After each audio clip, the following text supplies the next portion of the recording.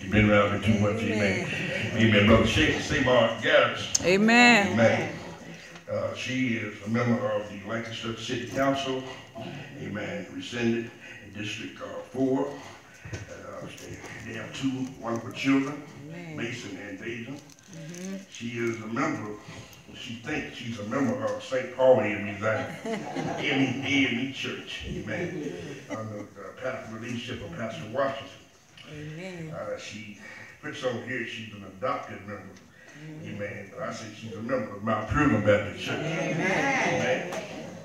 Amen. She uh, she holds an associate degree in, in paralegal studies, a bachelor's degree in criminal justice. She completed one year at Charlotte School of Law, graduated of the graduate of the paralegal studies and program at Charlotte School of Law.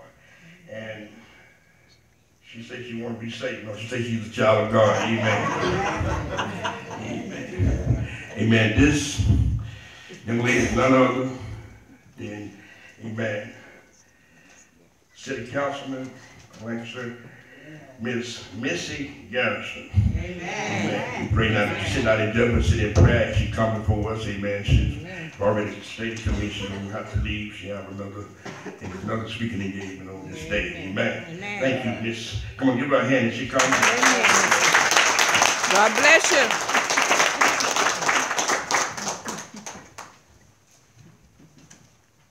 Good afternoon, everyone. Amen. First, giving honor to God and the highest praise. Um, I just want to thank, uh, my pastor. Pastor gracious invitation. Um, as he stated, I do have another engagement, so I do apologize for not being able to stay for the duration of the program, but I bid you, uh, success in advance. I also wanted to give honor to the other pastors in the house, uh, this afternoon, as well as the first ladies of the house. Um, let us pray.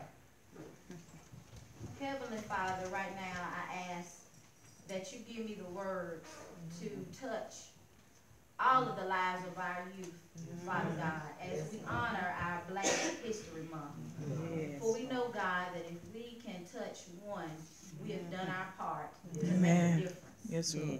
Lord, I ask that you mm. cover our youth mm-hmm. as this sanctuary should be full on today. For we know that without our youth, there is no hope for our future or our tomorrow. Bless this program and bless everyone under the sound of my voice. All of these things I ask in your precious son's name. Amen. Amen. The first thing that I wanted to talk about is when we talk about celebrating Black History Month, well, I thought it was good to kind of research some of the history on what is Black History Month, where did it come from, and why is there a need for us to celebrate it? Mm-hmm. Well, during my research, I found that Black History Week was created in 1926 in the United States when a historian by the name of Carter G. Woodson and the Association for the Study of Negro Life and History announced the second week of February to be the Negro History Week. And this particular week was chosen because it coincided with the 16th President of the United States, Abraham Lincoln, who on January the 1st, 1863, declared that all slaves in the United States Rebellion against the Union shall be thenceforward and forever free. Yeah. And it was also chosen because of Frederick Douglass, who was born into slavery and he escaped at the age of 20 years old. Mm-hmm. And he, he later became known for his leading attacks against Jim Crow laws and lynching in the 1890s. And for those of you youth who have never heard of Jim Crow law, I thought I'd give you a little bit of history on that as well. Jim Crow laws were state and local laws She helped me with my enforcing racial segregation in southern United States. These laws mandated racial segregation in all public facilities for African Americans.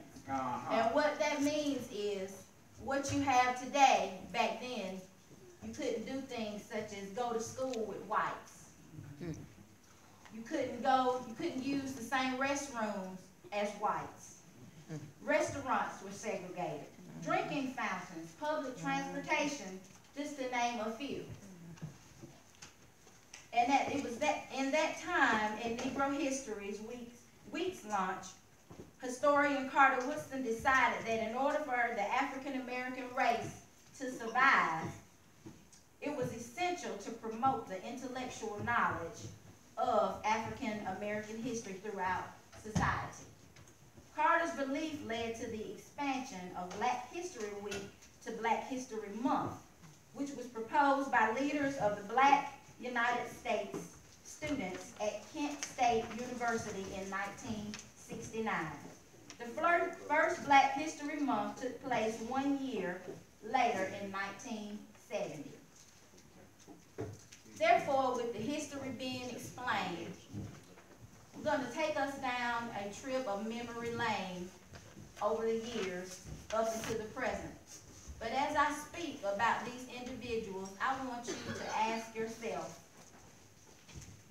do you think in today's society, we as a people are continuing the legacy of all the great pioneers who led the pathway for us? I'm gonna say that again, and this is what I want you all to think about. Do you think that in today's society, we as a people are continuing the legacy of all the great pioneers who led the way for all of us? One of the first pioneers that I want to speak about is Sister Harriet Tubman, who was born into slavery in the 1820s. She escaped slavery at the age of 30. She was a leading figure in the anti-slavery movement, and she helped free over 70 slaves in the Underground Railroad in 1870. Those of you, I know you've probably watched the movies, not sure how much the youth are involved. But back then, slaves couldn't even carry their family name. Families were separated. Children were sold. Women were raped. And we had no laws back then to protect us. Medgar Evers was another famous pioneer. He was also a civil rights activist in the 1950s who took a stand and spoke out against racism and segregation. He was assassinated one early morning on June the 12th, 1963, as he pulled into his driveway.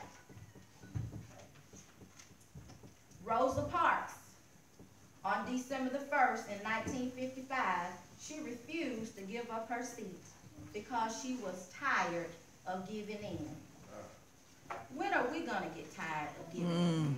Mm. Giving in to watching all of our brothers and sisters fall to drugs, alcoholism, gangs, gun violence, getting our kids into church, knowing to put God first in everything that they do. When are we, uh, when are we going to get tired as a people of letting things go? Hmm. The next group of pioneers are the youngest. They were four little girls that were bombed in the 16th, 16th Street Baptist Church on September the 15th in 1963. Three of them, at the tender years of 14 years old, Addie Mae Collins, Cynthia Wesley, Carol Robinson, and 11-year-old Denise McNair. There are over 1,400 more black Americans murdered in two years by black-on-black crime than African Americans that were lynched from 1882 to 1968. I'm gonna say that again. We have over 1,400 more black Americans murdered by other blacks in two years than that were lynched from eighteen eighty-two to nineteen sixty-eight. African Americans constitute one million of two to three million in, of our incarcerated population. We've got to wake up as people. Amen. And over the past thirty-five years in America, an estimated three hundred and twenty-four blacks have been killed at the hands of other blacks.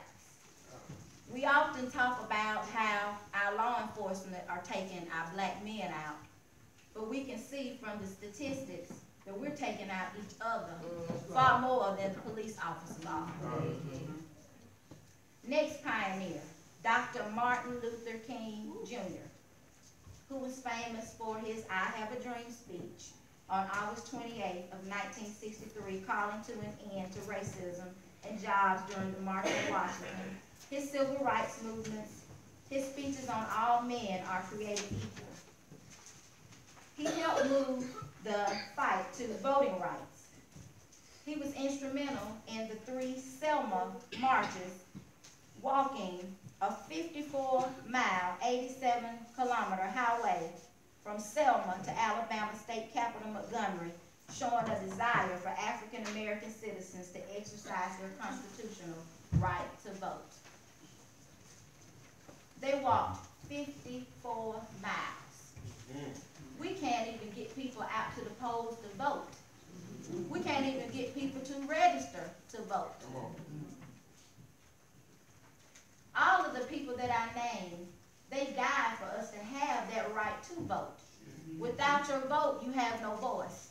Without your vote, you cannot complain. Yeah. Without your vote, you don't have any rights. Come on, come on, tell about it. You better say that. Did they all have to die in vain?